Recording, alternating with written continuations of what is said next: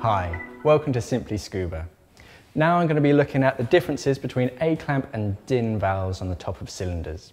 Whenever you buy a brand new scuba diving cylinder, it will come with a valve that looks just like this. In its current configuration, it's suitable for A-clamp regulators, as you can see that green O-ring on the front here. All of these valves have a removable insert, and what you need is an 8mm Allen key. You put that into the center of the insert and the top of the valve and unscrew it like so.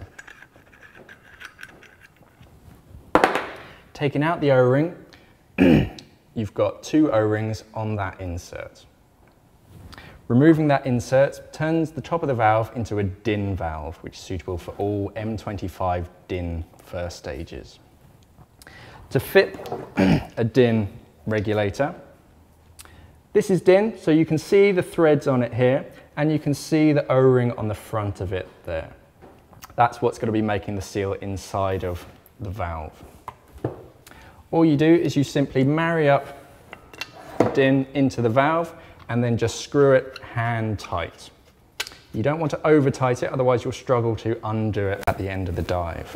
And then all you do is simply turn it on. For A-clamp regulators, let me just take this one off. If you do have DIN regulators, what you can buy is an A-clamp adapter, which will turn your DIN regulator into an A-clamp regulator and they simply screw on like that. Let's turn this valve back into A-clamp with your 8mm Allen key and screw the insert back in.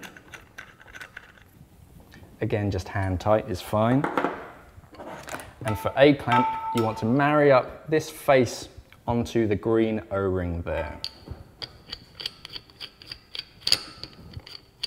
And screw this just hand tight again. And that should hold the pressure.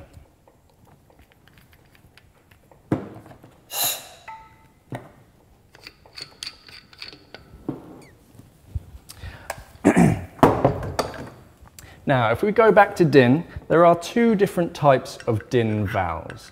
This one we have here is an 232 bar DIN valve which only has five threads on the inside of the valve.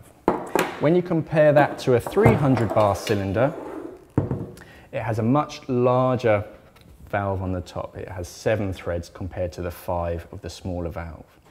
Now these valves are unsuitable for A-clamp regulators because you cannot fit them over the top. All A-clamp regulators can only take up to 232 bar of pressure.